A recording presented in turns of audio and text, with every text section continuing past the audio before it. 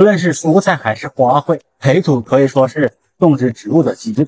那我们怎么不用花钱就可以得到适合草莓生长的土壤呢？我们先聊聊土壤的判定性。我们都知道，沙土排水性强。但肥力不容易保留，每次浇水时会随着水渗漏掉。壤土排水性好，渗水性一般，干湿循环慢，根系在水里长时间浸泡后就会烂。粘土排水性差，透气性不强，多次浇水后容易板结。聊到这里，有人就会问，什么是沙土、粘土、壤土呢？简单来说吧，河道旁边冲刷上来的就是沙土，而粘土就是水下的。一面沙土全被冲刷掉的土壤，壤土显而易见就是两者的结合。